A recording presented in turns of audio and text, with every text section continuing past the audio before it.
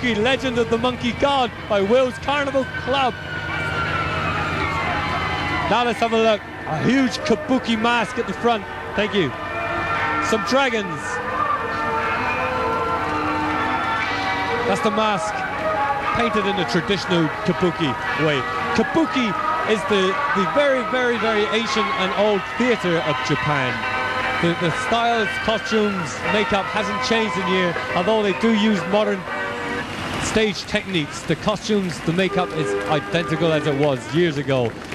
And this is it, Kabuki, Legend of the Monkey God. Say no more, just feast your eyes on this.